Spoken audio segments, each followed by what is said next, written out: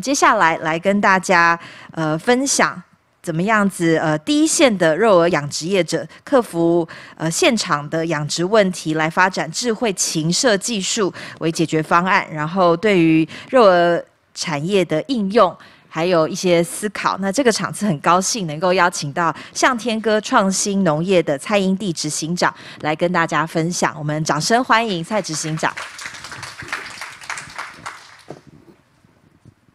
喂。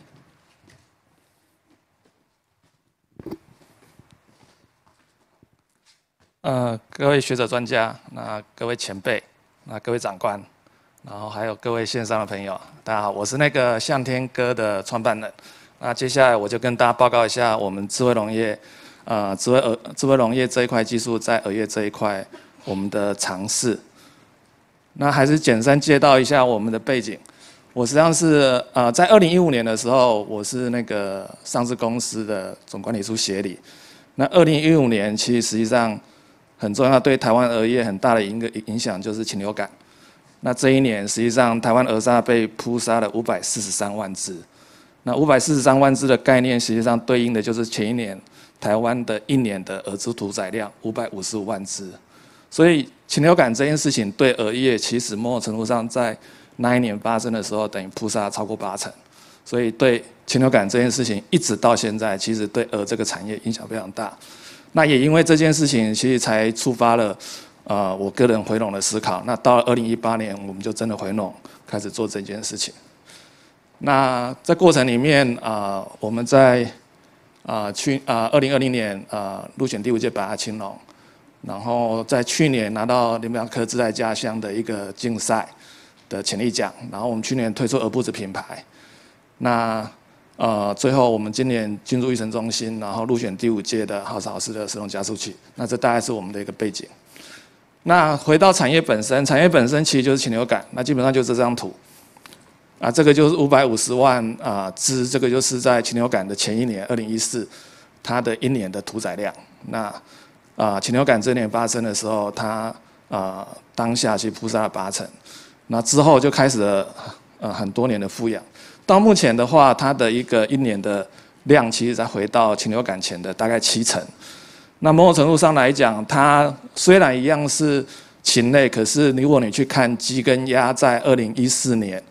的量跟现在的量，其实鸡跟鸭都超过了呃二零一四年那时候的量，所以代表是鸡跟鸭其实基本上禽流感这件事情的呃一个影响比较小，可而这个产业其实再回到七成，所以禽流感等于而这个产业它的养殖模式跟它的整个产业其实还在啊这件事情上面还在做努力。那我个人是会计师背景啦，所以我们会计师有个天，会计师这个会计这个产业有个天条，就是会计恒等式，资产等于负债加业主权益嘛。那对我来讲，所以回到了养鹅这件事情，那养鹅这件事情也有个天条，就是禽流感的风险。那禽流感风险等于什么呢？它等于啊鹅接触到鸟的频率，然后再加上。呃，接触到人的频率，所以我们的整个呃，为了克服这件事情，整个事情的努力就是啊，在这两件事情上面去啊发展。所以最开始我们就是开始啊开始的所谓的非开放式禽舍养殖肉技术的一个开发，这是二零一八年啊。这个场域实际上是啊我父亲啊原来的传统的场域，所以我们回笼的第一件事情其实就是改改建，所以把整个禽舍改成啊所谓的非开放式。那实际上当初做这件事情的时候，其实实验的性质很高啊，就是说你啊也也没有那个经验，也不知道怎么做这件事情，所以你光是看琴色就看得到它的一些差异哦。它我们设计的宽度其实是不一样的，这一栋是九米宽，这一栋是十，这两栋是十三米，这一栋是十八米。啊，当初在盖的时候，其实也不知道哪一个好，所以就都盖，然后透过后面养殖经验去累积，说啊哪一个宽度比较好。那我们最开始的时候，甚至只有这一栋是有装风机水帘，也就是所谓的密闭式。然后另外这一栋实际上是所谓的围网，就自然通风。然后我们也在测说啊，同样的啊，它长度都一样，宽度也一样，这两栋就在测说，哎，密闭式跟所谓的围网式，到底后续的养殖的影响是什么？所以所有的东西其实就是这样一路摸索过来。那啊，我们算是啊某种程度上算顺利的，就是也就慢慢走过来了。所以，二零一八啊开始用所谓的非开放式开始养，然后可是开始的时候其实也不敢从头到尾就养在室内，所以是慢慢推慢慢推的。那二零一九总算鹅全部进室内，它从头到尾养在室内。然后我们到二零二零进一步走到全部都密闭式。那到今年实际上可以讲说，它某种程度上来讲，它在室内的养殖的效果跟效率，已经跟呃室外啊所谓的啊算是中高班差不多接近。那也就是说，它还有努力的空间呢。我们会继续努力，在提升它的一个效率效果。那可是刚提到了，它解决了所谓的鸟的问题。可是人会进去，人会进去，对应的就是人会带病毒进去，所以实际上来讲啊，人会带病毒进去，在产业或在专家的想法，就所谓的生物安全。那可是那是人进去带进去病毒的风险。那如果说今天人不用进去呢？所以我们一直以为人员禽舍作业的替代是生物安全作业拼图，那也是这个非开放式禽舍养殖它要成功的作业拼图。所以某种程度上，智慧农业在我们这件事情里面扮演的好角色，它其实实际上啊，最现场面来讲，它就是要透过 AIoT 技术去替代人力，然后替代能力之后，人不会进去，就不会带病毒进去，那这样的方式就可以降低它染疫的风险，那最后才代表这套技术可以去克服禽流感。所以我们开始做这件事情。那第一个，我们当然要去盘点人进去做哪些事情。那人进去会做的事情，给饲料。啊，温湿度、风速控制，随时给水排水，那禽舍清洗消毒，然后最后去看鹅到底有没有健康。所以在这件事情里面，实际上就现有的技术来讲，这一块其实是很成熟的。就是说，你透过呃自动化这件事情，其实目前都做得到。那唯有巡视儿子健康这件事情，是目前的啊，在我们导入当下，甚至到现在啊这一块是啊我们核心要去克服的问题。我们必须发展一套技术去做一个所谓的健康预警，所以啊，我们在啊整个啊计划里面，实际实际上中心就在这里了。那当初我们也进行排点，就是说你所谓的啊健康预警，那要怎么去做？那我们定义了异常指标，例如说你透过体温，然后去看说啊这只鹅有没有发烧，透过移动去看说哎。啊，这只鹅有没有在动？如果它一直没在动，是不是基本上就代表它有问题？然后透过它的采食频率，就是说它吃东西有没有正常在吃？最后透过体重，那这些不同的指标，它对应的其实是不同的技术。然后不同的技术，它啊对应到的是不同的成本。所以实际上，呃，我们在评估这件事情的时候，它的角度里面有更多是现场的角度，就是说。啊，你今天可以考虑体温，可以考虑移动，可以考虑不同指标。可是我在考虑的时候，第一个，它一定要预警的效果。所以像体重，它就没有预警的效果，因为体重当你就好像人一样嘛，人生病不吃东西，到你体重减轻，那个已经是你生病后的事了。所以它是个落后指标，所以体重就不会变成我们健康预警的一个重点。那相对的，例如说今天。啊，成本也是我们一个考量重点。例如说移动，我们最简单的方式，那时候我自己呃都有想过的，就是例如说我们每只鹅去把它挂一个啊，算是那个 GPS 好了，然后你就可以侦测每只鹅在禽舍里面走动嘛。可是这样结果是你一千多只鹅，你就要挂一千多组，然后重点是它养才三个月，你不可能现在它出耳的时候挂，然后三个月后它卖掉的时候再把它卸下来，那个人力成本太高。啊，所以到最后，我们实际上啊，回到要怎么决定这件事情的时候，我们回到养殖经验。那这实际上是啊，某种程度上蛮好玩的一件事情，就是啊，养殖经验里面，我回农的第一天，我爸我带教我怎么养鹅的时候，他永远让我进去的第一件事情，我们进去第一件事情就是看水池。啊，所以回到一件事情上面是。呃，为什么老农进去鹅场或在养殖经验里面，啊，产业弄好里面，他第一件事情是看水池，因为原因是鹅它喜欢玩水，可是鹅不会长时间待在水里，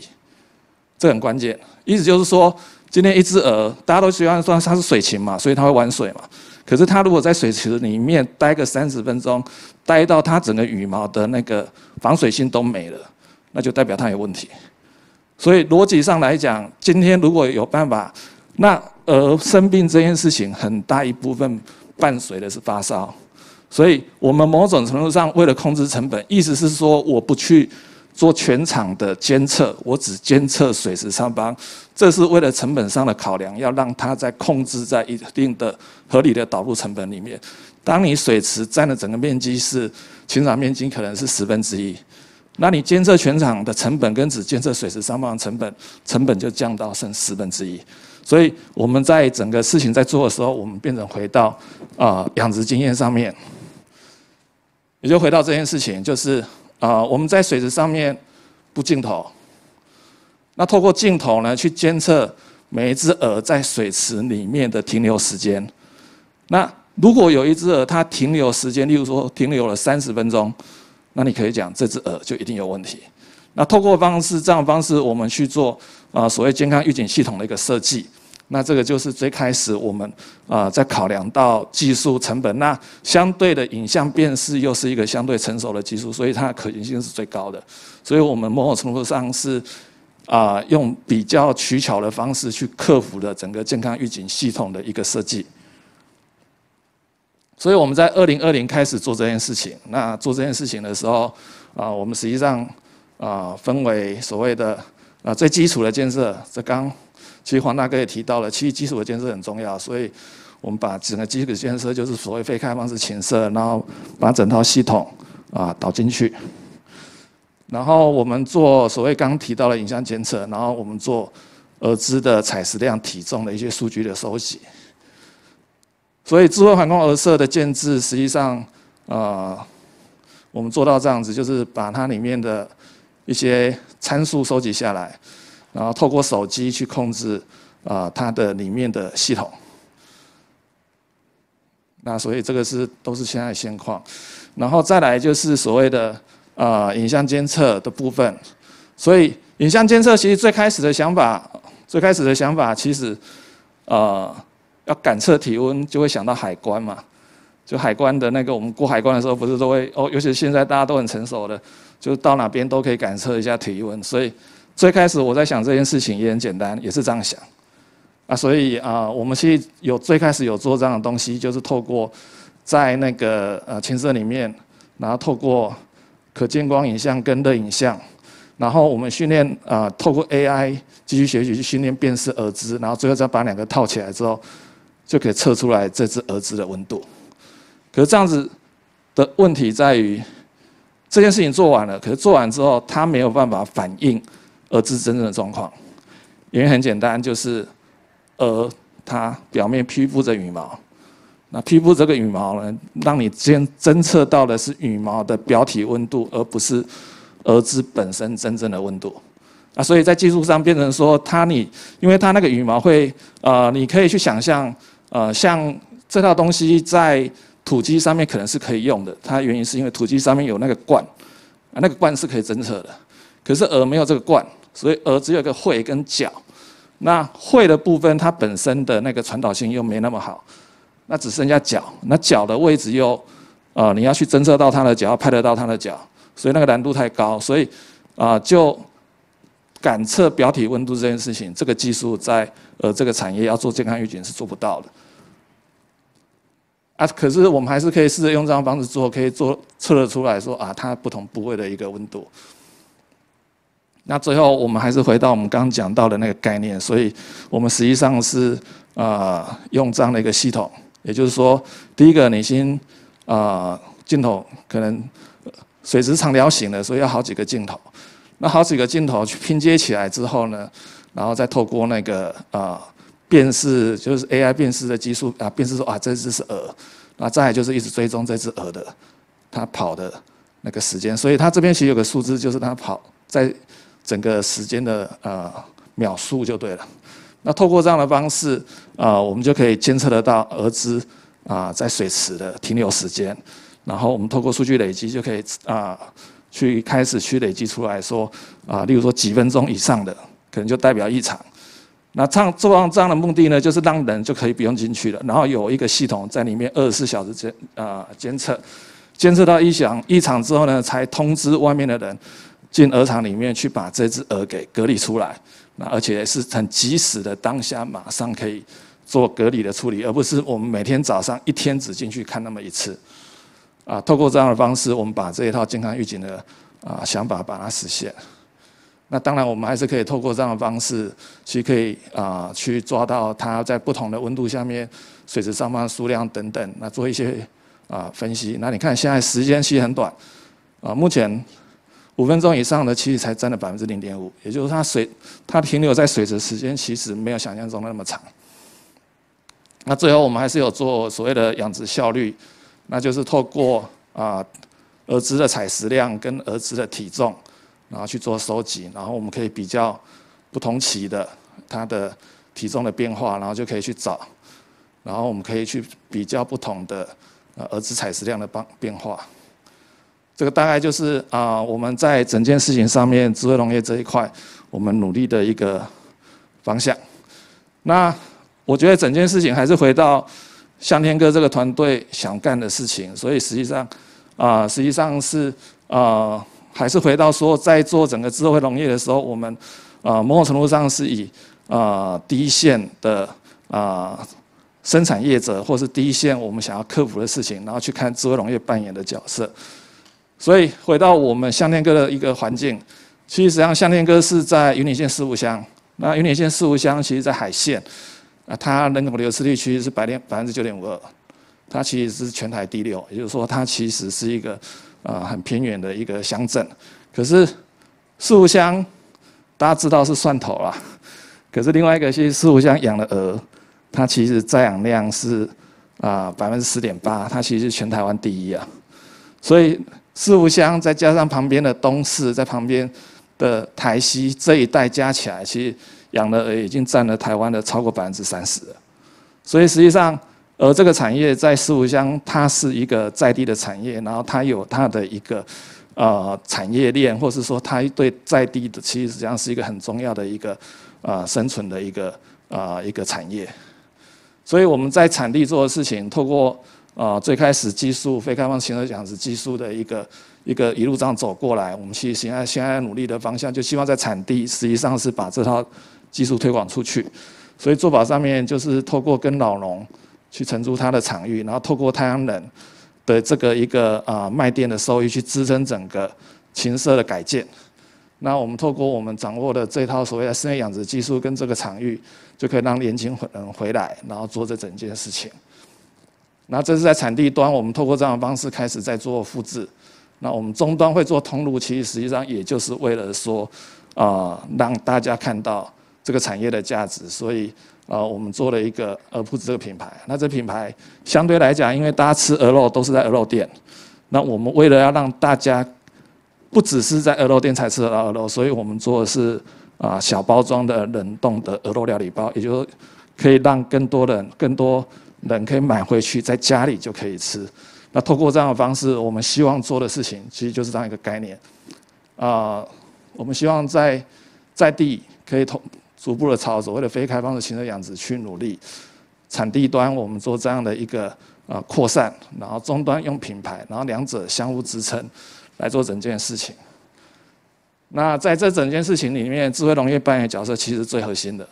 它要的是要证明说所谓的非开放式禽舍养殖这个技术是可以成功，是有竞争力的啊，所以这个是我们一直在专注在这块努力的一个很大原因。那最后我们还是谢谢。啊，这一路走过来，农委会的支持，然后中原大学徐老师其实是一路辅导过来，然后机电系，然后实验所，那实际上啊，整个产业啊，希望在这样努力下能够有一些成绩。那以上，谢谢。